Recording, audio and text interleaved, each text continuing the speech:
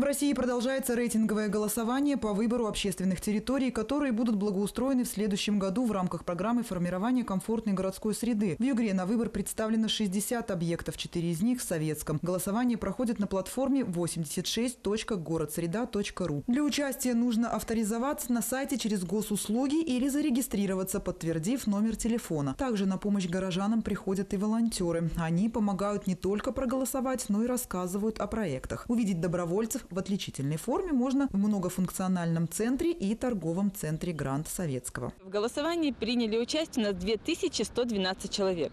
Наибольшее количество голосов набрала территория а, зона отдыха вблизи водоема по улице Киевской. На информационных э, участках у нас работает 40 волонтеров. По два человека на каждом информационной точке. С 19 мая в Советской районной больнице откроется дополнительная точка, где можно будет сделать выбор в пользу одного из четырех объектов. Напомним, что отдать голос за понравившуюся территорию для благоустройства можно только один раз. Голосование продлится до 30 мая.